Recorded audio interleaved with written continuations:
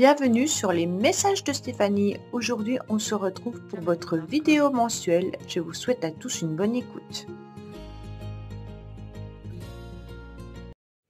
Coucou les balances, bienvenue sur les messages de Stéphanie. Aujourd'hui, on se retrouve donc pour votre tirage sentimental et relationnel du mois de novembre. J'espère que vous allez tous bien. En tous les cas, je suis contente de vous retrouver. Euh, et j'ai juste justement besoin de vous, ma communauté, donc euh, pour un petit coup de pouce concernant ma chaîne YouTube. Bien entendu, vous savez que derrière YouTube, c'est des algorithmes, que c'est une machine et que c'est un petit peu difficile de pouvoir avancer quand cette machine est un petit peu bloquée. Donc, c'est-à-dire qu'en ce moment, ma chaîne, elle stagne. Euh, que je ne communique avec personne de YouTube, bien entendu, donc on ne peut pas comprendre pourquoi. Et puis, à côté de ça, eh ben, en fait, euh, c'est un cercle un petit peu vicieux, dans le sens où s'il n'y a pas de nouveaux abonnés ou que la chaîne ne bouge pas assez, bien sûr, YouTube met euh, notre vidéo un petit peu à la corbeille. Donc, les nouveautés, ben, ne sortent pas, donc les nouvelles personnes ne peuvent pas la voir. La seule façon de pouvoir faire booster tout ça, c'est qu'il y ait des nouvelles personnes qui arrivent un petit peu sur la chaîne. Donc, je vais vous demander, bien entendu, de liker, commenter, vous abonner si ce n'est pas fait. Et puis, si vous le pouvez, bah, de partager, bien entendu, ma chaîne euh, par rapport à d'autres personnes euh, que vous connaissez qui sont intéressées par les signes astrologiques. Donc voilà, ça permet du mouvement et puis, même si ça fait deux ans et demi que je propose quand même 30 euh, à 40 vidéos par mois, euh, malgré un travail énorme, eh ben, on n'a pas forcément la, récompense de YouTube derrière. Hein. Donc, euh, forcément, c'est un peu une bataille de chaque jour. Donc, bien sûr, les balances, bah, je vous demande de l'aide. Et puis, je vous remercie par avance pour tous ceux bah, qui pourront m'apporter cette aide. Si vous ne pouvez pas, c'est pas grave, hein, bien entendu. C'est vraiment euh, une bouteille à, la mer que je jette. Allez, on va regarder un petit peu pour vous. Alors, vous avez aussi votre tirage général qui s'affiche en haut de cette vidéo pour le mois de novembre. Qu'est-ce qu'on a pour vous, amis balance, concernant, bien entendu, l'engagement? Cela vaut la peine, la peine d'attendre. Bon, on est sur quelque chose d'important. Votre vie amoureuse s'élève à un niveau supérieur d'engagement. Cela vaut la peine. La synchronisation divine est à l'œuvre dans votre vie amoureuse. Donc on a quand même les anges, on a quand même l'engagement. Donc certains ou certaines balances peuvent se sentir dans un lien un petit peu particulier, euh, flamme jumelle ou lien karmique ou lien euh, d'âme hein, également. Vous pouvez aussi sentir des synchronicités ou des messages qui arrivent à vous, même si vous êtes célibataire, et on vous annonce peut-être euh, la rencontre de quelqu'un. Allez, on va voir tout ça, bien entendu. Qu'est-ce qu'on a pour vous? Alors, on a une forme de loyauté, les balances, hein, de fidélité et d'intégrité avec vos amis. Donc, c'est un mois de novembre où vous serez motivé et où vos amis vont également vous motiver. On sent que vous allez, vous appartenez en tous les cas à un cercle amical, familial important sur qui vous pouvez vraiment compter. Donc on sent qu'il y a du partage, euh, de l'amour, et peut-être que justement vous êtes aussi euh, très euh, fidèle et loyal dans vos sentiments. Alors avec le 2, le 2 et le 3, on pense qu'il y aura des échanges, de la communication également vis-à-vis d'une personne pour qui euh, votre cœur bat peut-être, hein, ou peut-être tout simplement vis-à-vis de vos amis. Alors, d'où vous venez exactement? On me dit que dans le passé, vous avez peut-être ressenti que certaines personnes, ou une personne en particulier, étaient dans l'abus ou dans les excès. Hein. Donc peut-être que certaines personnes ont abusé de votre gentillesse ou de votre loyauté ou ont un petit peu profité de vos sentiments. Alors on me dit que pour l'instant il y aura des échanges et des communications au mois de novembre. Donc en quelque sorte l'issue favorable que vous avez, c'est de ne pas hésiter à communiquer et à changer. Ça, c'est important. On échange euh, par rapport à des personnes concernant des invitations, concernant un groupe. Donc pour moi, les communications se font autant au niveau relationnel que peut-être amoureux. Hein. On est vraiment sur des amis, sur un cercle d'amis, sur un cercle familial euh, avec qui il y a des échanges et des communications. Là, on n'est pas encore sur de l'amour. Pour moi, dans le passé, beaucoup d'entre vous ont eu un cœur blessé. On me dit qu'il y a eu peut-être des séparations, qu'il y a peut-être également eu des divorces pour certains, et un cœur un petit peu déchiré. D'accord? Donc peut-être que vous avez appris par SMS ou autre hein, que la relation était terminée, ou alors qu'il n'y a plus de communication avec la personne qui vous a blessé au niveau amoureux. Ce mois-ci, en tous les cas, l'influence extérieure qui arrive à vous sera de vous recentrer sur vous-même, d'aligner bien entendu vos chakras, et puis d'être vraiment en accord avec ce que vous ressentez, ce que vous verbalisez, et puis ce que votre mental euh, vous fait penser. D'accord? Donc là, c'est le cœur et le mental doivent être alignés. Souvent, ils sont en désaccord. Euh, il y a souvent un conflit entre les deux, puisqu'il y a la sagesse euh, parfois d'un côté et puis la pulsion de l'autre. Alors parfois le mental te dit, tu sais que cette relation, elle est pas bien, il faut pas que tu y ailles. Et puis le cœur, eh ben, il vibre. Alors on fait comment avec ça? Donc pour moi, ce mois-ci, les balances, en tous les cas, on va essayer de vous mettre sur votre chemin plutôt beaucoup de sagesse hein, et d'un bon raisonnement pour pouvoir être dans une forme de sécurité et de stabilisation pour construire euh, une relation et puis même construire euh, vos communications. Le 4 et le 3, ça me fait vraiment penser à une sécurité au niveau verbal. Vous voyez C'est comme si les mots avaient beaucoup d'importance. Les mots, ils peuvent être constructifs, ils peuvent être euh, intéressants, mais il ne faut pas qu'ils soient utilisé à mauvais escient. Ça veut dire que on peut avoir des échanges avec une personne et que cela devienne constructif. Si on commence à être superficiel, si on commence à raconter un peu n'importe quoi, bah forcément vous pourrez pas aller de l'avant avec cette personne. Là, vous êtes vraiment sur beaucoup de sagesse, hein, les balances. Le fait d'avoir un petit peu aussi analysé et observé votre vie vous permet bien entendu de comprendre ce que vous voulez et ce que vous ne voulez plus. Euh, là, on a l'observation, je pense que vous avez fait aussi un retour un peu en arrière, vous avez défilé euh, un petit peu le film de votre vie et vous êtes justement en train de vous poser des questions euh, de ce que vous aimeriez bien entendu, voir aboutir. Alors on a quand même, euh, cela vaut la peine d'attendre. Alors est-ce que vous attendez quelqu'un, une inconnue, un inconnu, ou alors peut-être que vous attendez euh, votre âme sœur que vous connaissez peut-être déjà? En tous les cas, euh, on est sur un engagement quand même. Hein. Donc pour moi, il y a un engagement peut-être spirituel, mais il y a un engagement qui est présent. Alors sachez qu'on est en énergie une en numérologie au mois de novembre, ce qui vous permet aussi de prendre les commandes de la situation. Hein. Donc vous devez euh, sortir de votre solitude et puis de montrer un petit peu la route et de vous guider également. Alors on me dit que pour l'instant, euh, vous êtes aussi en phase de réconciliation. Alors il se peut que vous réconciliez avec une personne, mais il se peut également que vous vous réconciliez avec vous-même. Dans le sens où, bien sûr, avec beaucoup de sagesse et beaucoup de bon raisonnement, vous allez réussir à vous euh, ancrer davantage sur vos besoins. Et là, on est vraiment sur de la droiture. Hein, la balance, le 8, bah, c'est la balance. Hein, en plus, vous êtes du signe de la balance. Et vous avez beaucoup de 4.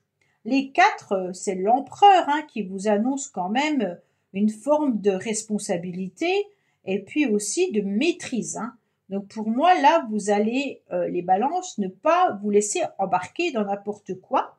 Vous êtes prêt à être dans la réconciliation peut-être avec une personne ou avec vous-même, mais avec beaucoup de droiture. Hein. Qu'est-ce qu'on a? On a le fait que dans le passé, vous avez pris vos jambes à votre cou, hein, ou une personne est peut-être aussi partie.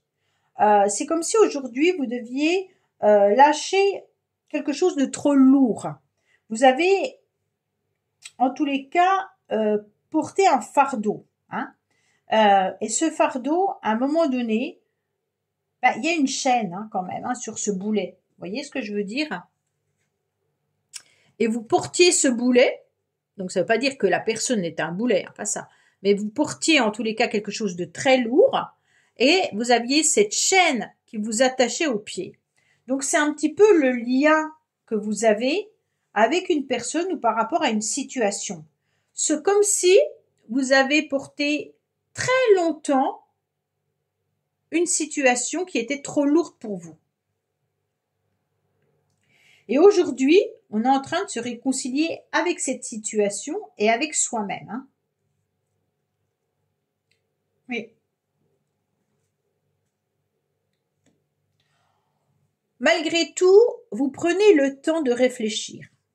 Je vous dis, hein, vous êtes très droit, vous êtes carré, vous savez ce que vous voulez, euh, vous pesez le pour et le contre. Euh, waouh Le mois de novembre, les balances, euh, vous faites pas n'importe quoi. Hein. en plus, avec des 4, des 4, des 4, vous êtes peut-être presque à la limite de la sévérité. Vous voyez ce que je veux dire? C'est comme si la personne qui ne rentre pas dans la case euh, n'a pas le droit à sa chance, hein, d'accord? Donc là, on est vraiment sur, je prends du temps de réfléchir, d'analyser ce que j'ai vécu, et puis aussi, je prends du temps euh, parce que j'ai encore quelques doutes, d'accord? Alors peut-être des doutes sur une personne ou des doutes sur ce que je veux. Peut-être que là, vous avez envie, bien entendu, euh, d'avancer, pour moi, il y a quand même des communications qui sont présentes. Alors, est-ce que c'est ces communications qui vous font douter ou est-ce que c'est la personne qui vous envoie euh, ces messages euh, pour qui vous ne savez pas trop ce que vous devez faire hein? On est vraiment sur l'idée d'être dans la confusion concernant quelqu'un et concernant vos désirs. Là, il y a vraiment ça. Hein alors, on me dit pourtant que vous l'avez beaucoup pensé, vous l'avez beaucoup rêvé, cette situation. Donc, pour moi, vous avez peut-être rêvé pendant un certain temps à une personne ou vous avez rêvé de rencontrer le grand amour. Mais en tous les cas, maintenant, euh, ça vous pose souci, ça vous pose question, parce que vous ne savez pas vraiment si ça va arriver ou pas. Là, cette histoire de, de, rêve, ça me fait penser vraiment euh, à la synchronisation divine. Hein. Là, on est dans les anges, on est plutôt dans la spiritualité. Donc, qu'est-ce que vous avez eu comme message, comme synchronicité euh, par rapport à une situation, une relation Et aujourd'hui, ben, vous vous posez des questions. On est sur du doute quand même, hein, là. Oui, à l'instant mois de novembre, là, vous serez sur le doute. Alors, qu'est-ce qu'on me dit? On me dit que vous préférez être dans la sagesse par rapport à une dépendance affective ou par rapport euh, à des personnes qui auraient peut-être pu abuser un petit peu de vos sentiments. D'accord? On me dit que au mois de novembre, vous préférez euh, être dans la sagesse hein, euh, parce que vous sentez encore qu'il peut y avoir une faille. D'accord? Alors là, on est sur l'idée de... Moi, j'ai l'impression que vous mettez vraiment une armure pour ne pas être à nouveau blessé parce que vous ne savez pas trop si votre, euh, vos blessures sont bien fermées. Euh, vous avez peur à nouveau qu'on vienne un peu vous piquer ou qu'on vienne atteindre votre cœur. Et qu'est-ce que j'en fais? Oui, Là, pour certains, il peut y avoir des communications avec une personne avec qui vous vous réconciliez, mais qui vous a fait du mal. où il y a une euh, dépendance affective. Hein. Hum. Ouais. Alors on me dit que quand même euh, il y a des communications qui peuvent arriver à vous, mais dans le passé il y a déjà eu pas mal d'échanges. Hein. On me dit que euh, vous observez en tous les cas ces communications parce que vous les avez attendues et que vous les avez rêvées. Pour moi, vous attendez le retour de quelqu'un.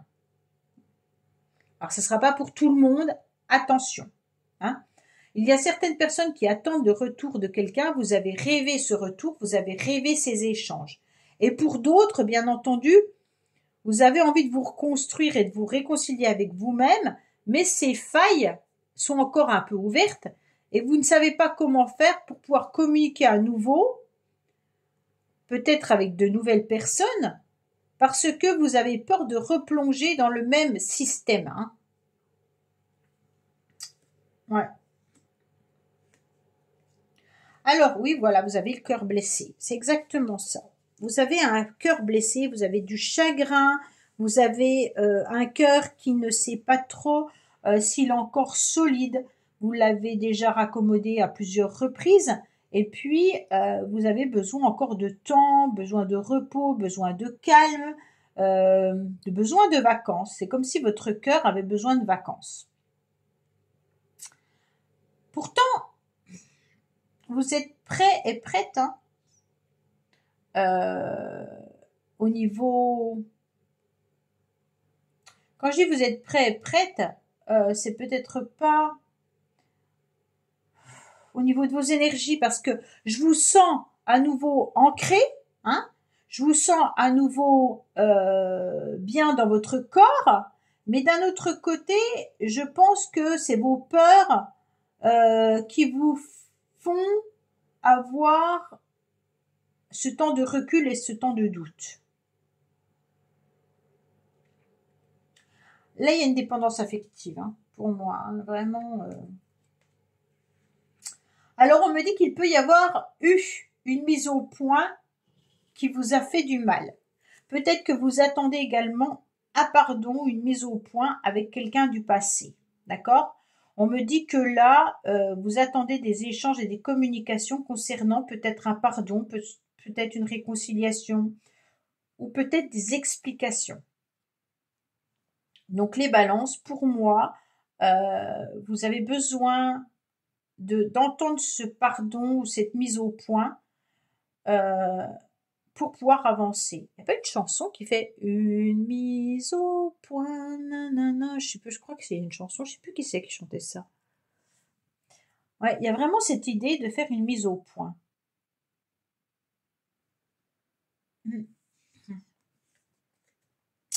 Alors, on me dit que pour l'instant, vous devez patienter, que les choses ne sont pas encore à l'heure de la réconciliation. On me dit qu'il va falloir être patient, euh, d'avoir beaucoup de sagesse, et puis euh, d'être dans la réflexion concernant des communications qui vont arriver pour moi fin novembre, pas avant. On me dit que là, euh, pour moi, il n'y a pas de nouvelle rencontre. Hein. Si vous en faites, c'est pas pour le mois de novembre. Hein. Vous êtes un petit peu bloqué là. Hein. ouais. On me dit qu'il peut y avoir des disputes dans le passé qui vous font être complètement bloqué. On me dit que ces disputes, euh, vous en avez eu ras-le-bol et puis qu'il y en a un ou un des deux qui a pris euh, ses distances et qui est parti. D'accord? On me dit que suite à ces disputes, il y a eu une séparation. Donc peut-être que vous avez vécu une relation difficile avec quelqu'un et qu'aujourd'hui, bah, ça ressort un petit peu dans votre tirage et que vous avez du mal, bien entendu, à pouvoir à nouveau faire confiance et puis à repartir sur une nouvelle relation. Peut-être que vous avez besoin également d'une mise au point avec cette personne ou tout simplement d'une mise au point avec vous-même. D'accord? Donc là, c'est intéressant peut-être de communiquer euh, avec un spécialiste ou avec vos amis, comme vous avez quand même pas mal d'amis, votre souffrance ou comment vous devez avancer également parce qu'on vous sent un petit peu bloqué.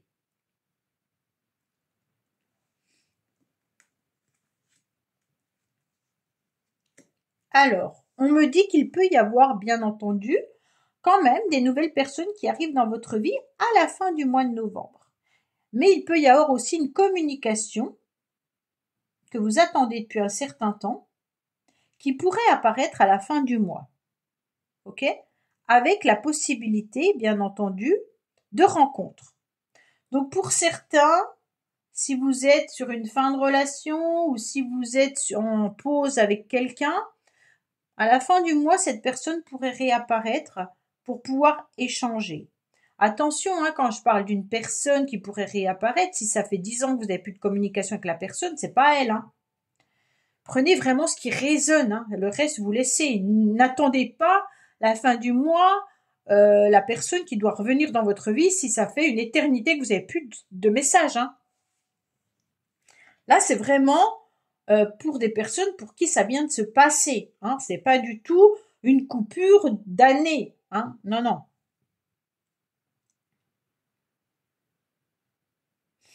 Oui, pour moi, il peut y avoir aussi l'idée euh, de prendre du temps pour soi et d'être prêt à la fin du mois de novembre, eh ben, de pouvoir rencontrer à nouveau des personnes. D'accord? Donc ça peut être des nouvelles personnes, bien entendu. On me dit que parce qu'à la fin du mois, vous aurez déjà travaillé sur vous et puis euh, vous aurez aussi eu le temps euh, de réfléchir sur ce que vous voulez et sur ce que vous ne voulez plus. Bon, on me dit aussi qu'il y aura pas mal d'entourage qui sera présent pour vous. Hein. Donc les rencontres, ça peut être aussi avec la famille, avec les amis, d'accord? C'est peut-être ces personnes-là que vous allez voir un peu plus en fin du mois et qui vont vous tirer un petit peu de votre, de votre forme d'ermite là. C'est les autres qui vont venir vous chercher pour pouvoir euh, vous proposer des sorties, des communications, des échanges, des invitations, parce qu'on sent que là, vous tournez un peu en rond et qu'il est temps un petit peu de sortir de tout ça. Hein. Il, y a, quand même beaucoup de questionnements par rapport aux sentiments, par rapport à une future réconciliation peut-être, et puis aussi par rapport à une dépendance affective.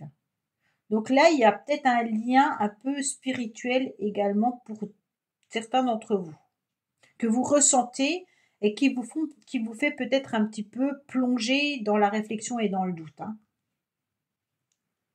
La réconciliation, elle peut être aussi des énergies qui se retrouvent à nouveau. Hein. Si euh, vous êtes en énergie flamme jumelle, par exemple, peut-être que vous avez senti un vide pendant un certain temps et que maintenant, euh, l'énergie masculine ou féminine, vous la ressentez un petit peu plus de cette personne. Et ça vous renvoie également à un cœur blessé, à des doutes, à des questionnements et à cette dépendance de ce lien. Voilà les balances. Mais écoutez, j'espère que ce tirage vous aura parlé. Je vous dis à bientôt sur les messages de Stéphanie. Au revoir. Merci d'avoir écouté les messages de Stéphanie. N'oubliez pas, bien entendu, de liker, vous abonner et commenter. Je vous dis à bientôt pour d'autres vidéos.